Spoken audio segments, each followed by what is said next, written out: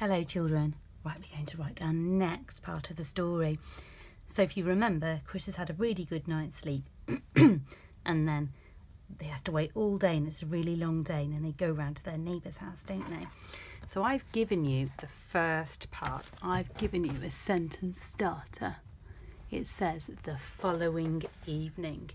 That's just another way of saying the next evening but we've already used the word next because we used it yesterday when we said the next night. And sometimes when you're doing your writing, it's a really good idea to try and use different words and not too much repetition. So pause the video now and you write this sentence starter the following evening. Okay. Right, now let's think.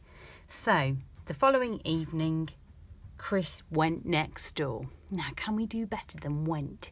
How is Chris feeling? Pause the video now and have a think. Either just say the words out loud or jot them down. Okay, what did you get? I think he's happy. He's really excited.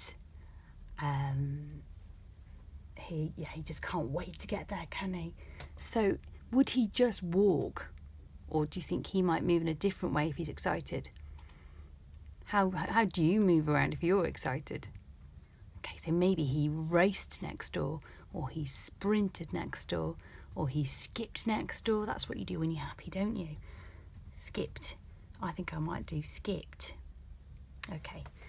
Um, right, so I'm going to write the following evening, Chris skipped next door. It's what's which do you think it is? It's a K. Now watch out when you do your K because we want it to be this size like this. So it's the same size as that. I'm just going to show you what happens sometimes. I'm just going to show you. Sometimes this happens when you do a, a K in the middle of a word. Sometimes a K looks like that. But we don't need a capital letter in the middle of the word, do we, like that? Okay, so we actually, if I zoom in a bit, there we go want it to be like that. So the slide in, slide out is all at scared monkey height like that, okay? The following evening, oh, have I missed a word out? I've just started to write skipped, haven't I? What do we do when we miss a word out? We can do a little upside down V and we can write it up here. Okay, there we are. The following evening, Chris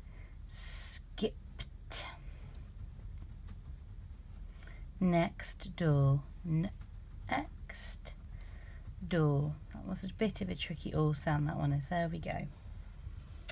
Full stop. That's the end of my sentence. Right, you decide how you want Chris to go next door. So you might say Chris raced next door, Chris skipped next door, Chris jumped next door. It's up to you. Pause the video now and write your sentence.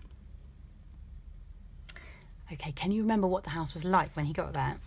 Let me show you a picture.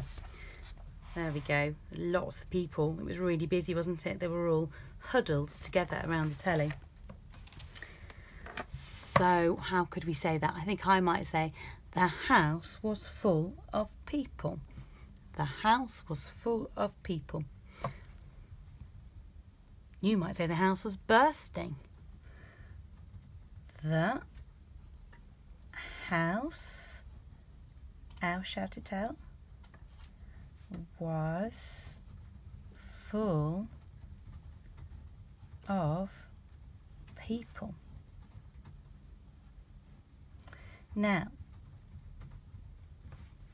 there are two things we could do now. I want one more sentence. So we could either talk about how they're all huddled together or we could talk about the noise that they're making. So let's let's do the let's do the huddled together bit first. So I might put, if they are all huddled together, let's look again at the picture. okay, they're all squashed in, aren't they? Like a squash and a squeeze. I might write squish squash. They were all huddled together around the television. Do you remember how we did that last time? Squish. Squash. Have you ever had to squish and squash on the sofa because you've got lots of people over. Squish squash. They were all huddled together around the television. They were all huddled. That's a good word, isn't it? Just means all squashed together. Together.